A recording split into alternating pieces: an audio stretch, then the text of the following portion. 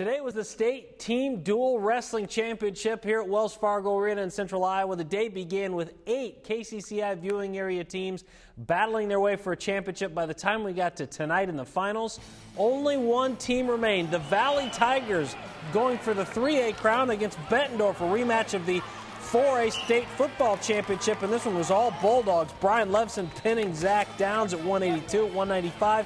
Keaton Jurovitz takes down Brady Smith. He would end up getting the pin. Bettendorf led huge the whole match. They win the 3A Duals Championship 99 26, the final over the Valley Tigers. It's a new experience having the state duals the day before the individual state tournament begins, and that's something that everyone's embracing. Tony Seaman has more on that.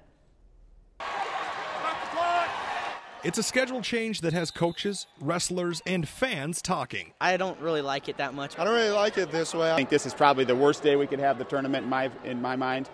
And when you ask around Wells Fargo Arena, the answer is usually the same. I don't know what the best alternative is. Uh, the the last format had some issues too, but I know it was better than than this one. Kind of unfair for for us because wrestling three matches the day before individual. With the individual state meet tomorrow, tonight a lot of qualifiers didn't compete. And the results were easy to see. Southeast Polk came into Class 3A as the number one seed, but lost all three of their matches. It is what it is, and we made our decision a long time ago what we were going to do with our team, and so, you know, we're going to live with that decision.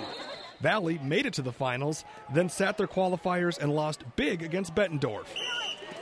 I mean, Bettendorf and Valley really shouldn't be in the finals. It should be Bettendorf and Southeast Polk.